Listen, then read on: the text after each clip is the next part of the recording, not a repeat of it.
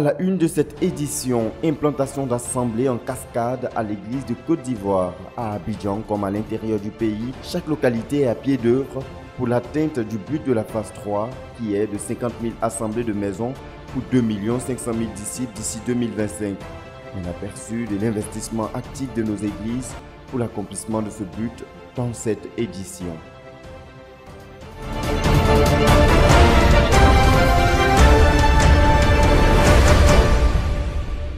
Ces dernières semaines, l'église d'Abidjan a connu une forte croissance en nombre des églises de maison. À Benjerville, 31 assemblées ont vu le jour. Ainsi, pour la direction spirituelle de ces assemblées, les nouveaux dirigeants ont bénéficié d'un séminaire de formation. Formation pendant laquelle le pasteur principal Germain de Gonzague s'est évertué à enseigner les nouveaux dirigeants sur la direction spirituelle en vue de produire des dirigeants potentiels capables de tenir une église de maison. Quatre jours durant, c'est près de 100 dirigeants qui ont pris part à ce séminaire de formation dont le thème était intitulé Le besoin critique de couvriers pour la conquête rapide en vue de l'implantation des églises de maison. Au cours de cette formation, le pasteur de Gonzague a insisté sur les critères de choix d'un dirigeant selon qu'il est écrit dans titre 1, les versets 5 à 9. Ce séminaire riche en contributions et en édifications est une grande première dans l'église de Benjerville. Nous venons de, il dire, achever en ordonnant des dirigeants. Et à cet effet, donc, nous avons pu recueillir 31 assemblées à ordonner.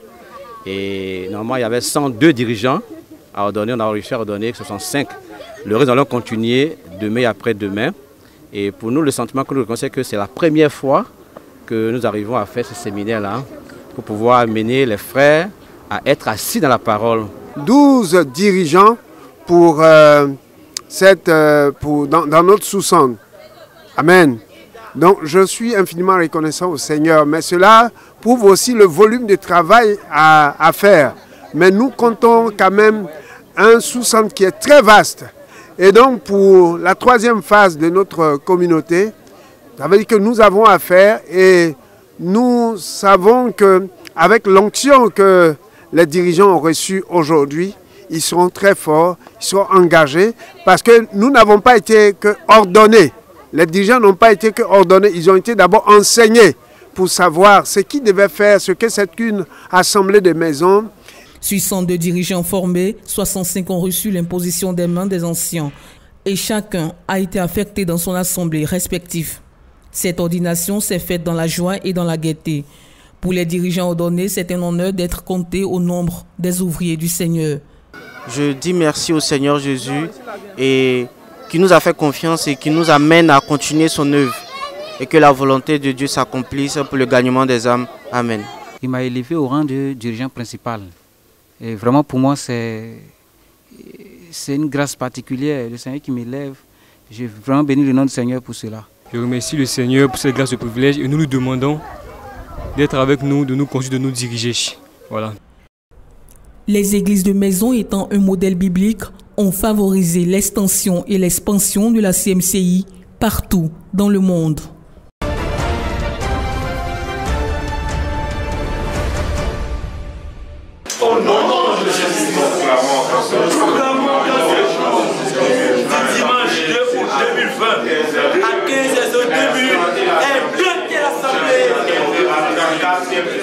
L'accomplissement du but de la phase 3 nécessite un investissement actif dans la conquête des âmes, la formation des disciples et surtout l'implantation des églises de maison. Obéissant à ces exigences, tout comme toutes les églises de Côte d'Ivoire, l'église d'Abobo, dirigée par le pasteur André Toili, est à l'œuvre pour que les 50 000 assemblées que doit implanter la CMCI Côte d'Ivoire d'ici 2025 soient effectivement implantées proclamons quand ce jour du dimanche 2 août 2020 assemblée chez les femmes d'Azur 2 c'est le secrétaire de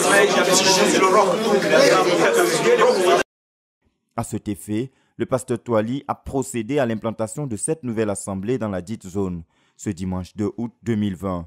Cette caravane d'implantation a commencé à 11h avec l'assemblée de Dokui 2 dans la maison du couple Balou et s'est achevée chez les Diado aux environs de 16h. Établie sur les assemblées allant de 8 à 20 membres, chacun des dirigeants de ces sept nouvelles assemblées a été exhorté à payer tout le prix pour assurer la croissance qualitative et numérique des membres. Le pasteur Toali a aussi insisté sur la nécessité pour chaque dirigeant à avoir une intimité profonde avec Dieu et à développer une marche avec Dieu conformément aux éléments fondamentaux de la prophétie de Berthois. Notons qu'avec ces sept nouvelles assemblées implantées, l'église d'Abobo compte 98 assemblées à la date du 16 août 2020, une croissance qui met la joie dans le cœur des dirigeants. Je suis profondément reconnaissant au Seigneur pour l'œuvre dans cette nation et particulièrement à Bobo. Aujourd'hui, il faut dire que c'est Dieu qui a réussi cela de nos mains. Sinon, j'étais très épuisé. je suis reconnaissant à Dieu. Je lui rends l'honneur et l'hommage, la puissance et le règne. je lui dis merci pour les autres assemblées à implanter la semaine prochaine. Pour que soit béni. Je suis juste satisfait et rempli de joie d'avoir évolué dans l'atteinte de notre objectif. Cette année, nous voulons aller avec Dieu. Et nous aller très loin avec Dieu. C'est pour ça que je suis rempli de joie. Est-ce que Dieu nous permet d'avancer avec lui? Que toute la gloire lui revienne.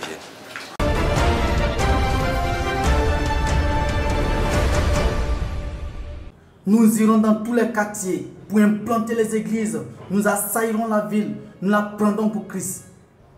C'est avec des chants de triomphe et des prières de proclamation qui ont conduit l'implantation de l'Assemblée 4 d'Anglais Extension chez les Boni avec 8 membres et l'Assemblée 5 chez les Nyakan avec 15 membres sous la supervision de l'ancien Désiré Douassaï et de son aide Guépan Francis.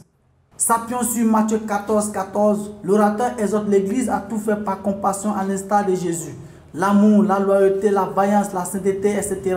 devraient caractériser l'Église. Ému de compassion, étendit la main, le toucha et dit, je le veux, sois pur. Ému de compassion s'est mis à enseigner, ému de compassion a guéri, ému de compassion a consolé. le témoignage, voici les armes qui nous ont permis de parvenir au niveau où nous sommes. Huit dirigeants ont reçu les impositions des mains pour perdre le troupeau de Dieu. Les nouveaux dirigeants font leur premier service. Ils sont tous heureux pour ce privilège de servir tout en comptant sur le Seigneur. En avant, l'église est en marche, la gloire de Dieu s'est manifestée. À Yopougon, l'on assiste à une explosion de foyers d'adoration grâce à la nouvelle méthode divinement inspirée. 147 foyers d'adoration ont vu le jour. Avant le Covid-19, nous avions 147 églises de maison. Avec cette méthode que notre dirigeant nous a demandé d'appliquer, nous sommes aujourd'hui à 413 foyers d'adoration. C'est-à-dire en plus de nos assemblées qui étaient déjà implantées, nous avons 266 nouveaux lieux d'adoration qu'on appelait les familles d'adoration. L'effectif de nos assemblées de maison en Côte d'Ivoire doit être d'ici la fin de l'année 10 000. Cette année, selon la troisième phase, l'église ou notre œuvre en Côte d'Ivoire doit atteindre 10 000 églises de maison. Le prix à payer doit être proportionnel au but visé. L'évangélisation, le jeûne, les croisades de prières, les suivis des jeunes convertis, les visites des églises, etc. doivent se multiplier. Nous sommes en train de partir comme ça, visiter les familles d'adoration où les frères se réunissent en famille pour adorer le Seigneur aujourd'hui. Nous allons visiter près d'une dizaine de familles. Nous sommes en route pour euh, le PK 22 dans le sous-centre le sous-centre du PK34. Nous sommes euh, dans l'équipe du pasteur Lombé euh, qui est venu rendre visite sur un nouveau champ d'émission, le nouveau champ d'émission confié au pasteur Djeket. Bénis le Seigneur pour cette journée merveilleuse. Euh, merci aussi pour la visite du pasteur avec son équipe. Atteindre rapidement le but de la phase 3, tel est le fardeau du leader Boniface Mené qui aligne les croisades de jeunes près de 40 jours depuis le début de cette année.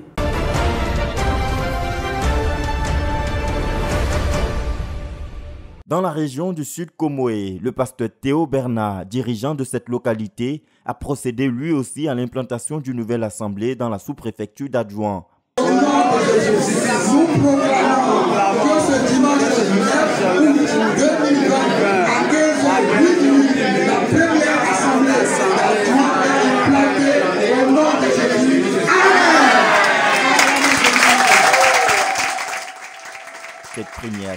Dans cette localité donne en tout un effectif de 82 assemblées dans l'église du Sud Comoé pour 3301 membres. Le pasteur Théo, dirigeant de la région du Sud Comoé, précise que cette implantation est la dixième du genre pendant la période de crise sanitaire. Elle permet ainsi à l'œuvre d'être implantée dans 11 sous-préfectures sur les 13 que compte la région. À Dieu soit toute la gloire.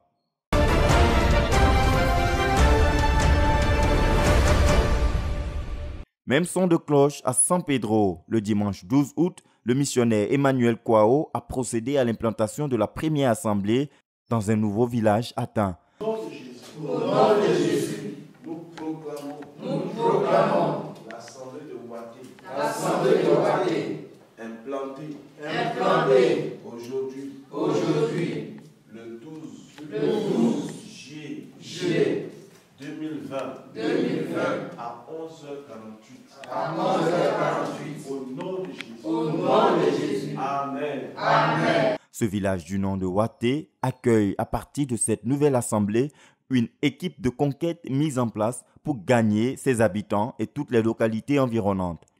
Des implantations en cascade qui confirment l'engagement de l'Église de Côte d'Ivoire à atteindre l'objectif de 50 000 assemblées d'ici décembre 2025.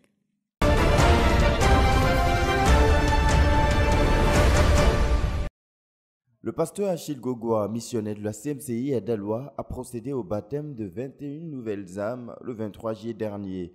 Un baptême qui est le fruit d'un programme de travail mené au niveau de l'église de Dalois en vue d'établir les enfants dans les fondamentaux de la conversion authentique. Après une première réunion tenue au siège de la CMCI Dalois au quartier Lobia le 4 juillet, au cours de laquelle l'homme de Dieu a instruit les enfants sur la repentance, il a poursuivi dans le même élan par une séance de travail personnel avec chaque agneau au cours de cette séance de travail tenue le 11 juillet, plusieurs dirigeants ont été mobilisés pour conduire une centaine d'enfants à la repentance. Cette étape ayant été franchie, un premier groupe d'enfants composé de 20 enfants ont été conduits aux eaux du baptême le 23 juillet. À cette occasion, le pasteur commence à donner les instructions pratiques sur les implications du baptême aux heureux élus pour le ciel, après quoi les nouveau-nés dans la foi passent aux eaux du baptême, accompagnés par des chants de louange au Seigneur Jésus-Christ.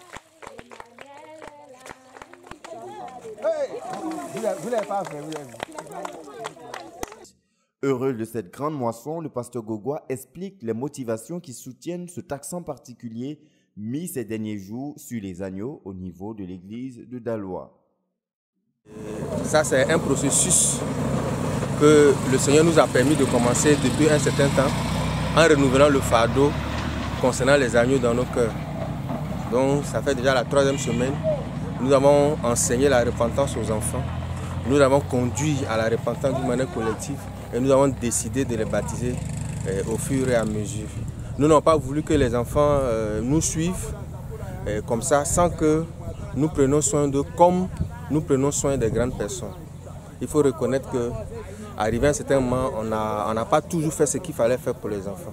Donc le Seigneur a ouvert nos yeux. Nous avons décidé de leur accorder beaucoup d'attention, beaucoup de soins. Et ce qui a fait que déjà depuis trois semaines, d'une manière suivie, nous sommes en train de nous occuper d'eux afin de, corriger ce qui a à corriger et puis d'investir en eux comme le Seigneur l'a recommandé. À l'apôtre Pierre, il a dit, Père, mes agneaux. Donc nous bénissons le Seigneur qui nous aide. Nous voyons la mobilisation des dirigeants, nous voyons l'engagement des parents et les enfants eux-mêmes sont joyeux de faire leur repentance, de se faire baptiser.